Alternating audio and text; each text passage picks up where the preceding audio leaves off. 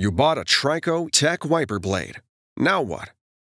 This video will show you how to properly install the Trico Tech wiper blade onto a 17mm side pin arm.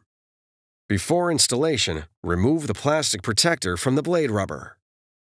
With this arm type, it is necessary to remove the pre-attached adapter on the wiper blade and replace it as follows with adapter BC. Identify the release tabs for the pre-attached adapter these tabs are labeled Press and are located at the back of the adapter. Pinch the tabs at the back of the adapter, then rotate it up to a 35 degree angle. Lift the adapter until it disengages from the blade. Discard it. Now, locate adapter BC and rotate it to a 35 degree angle. Lower the adapter onto the pin until it clicks in place.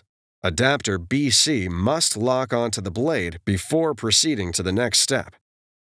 Hold the blade at a 90 degree angle to the end of the wiper arm and push it all the way onto the arm pin.